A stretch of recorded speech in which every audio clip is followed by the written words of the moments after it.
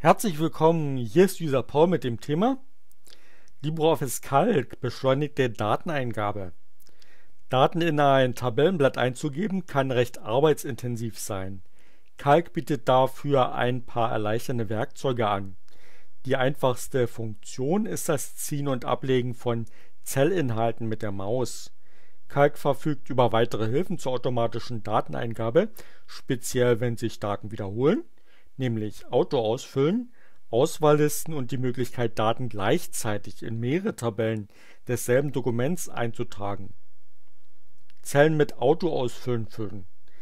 Der einfachste Gebrauch des Füllwerkzeugs ist das Duplizieren existierender Inhalte. Markieren Sie zunächst die Zelle mit dem zu kopierenden Wert, zum Beispiel B2 Ziehen Sie die Maus in eine Richtung oder halten Sie die Umschalttaste gedrückt, während Sie die Zielzelle anklicken. Anklicken und zum Beispiel ziehen bis B10. Wählen Sie den Menübefehl Bearbeiten, Ausfüllen und die Richtung, in die kopiert werden soll, zum Beispiel unten rechts, oben links. Hier mal unten. Nicht verfügbare Richtung erscheint zwar ausgegraut, das bewahrt sie aber nicht vor versehentlichem Überschreiben ihrer Daten, falls sie eine falsche Richtung ausgewählt haben. Autoausfüllen geht am schnellsten, wenn Sie den Griffpunkt in der rechten unteren Ecke der markierten Zelle mit der Maus in die gewünschte Richtung ziehen. Enthält die Zelle eine Zahl, wird diese Zahl von Zelle zu Zelle um 1 erhöht. Bei gleichzeitig gedrückter Steuerungstaste wird die Zahl jedoch ohne Inkrement kopiert. Der Text wird nur kopiert. Zum Beispiel hier, hier unten, anklicken und nach unten ziehen. Oder hier anklicken Dabei die Steuerungstaste gedrückt halten und nach unten ziehen.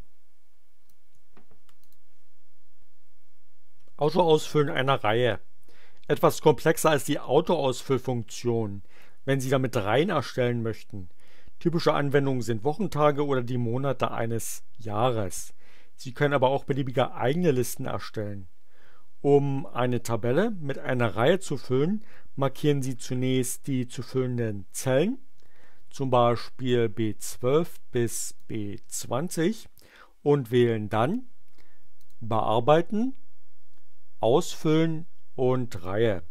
Im Dialog Reinfüllen wählen Sie als Startwert einen Wert aus einer bekannten Reihe ein, zum Beispiel linear Anfangswert 1 und Zunahme 1.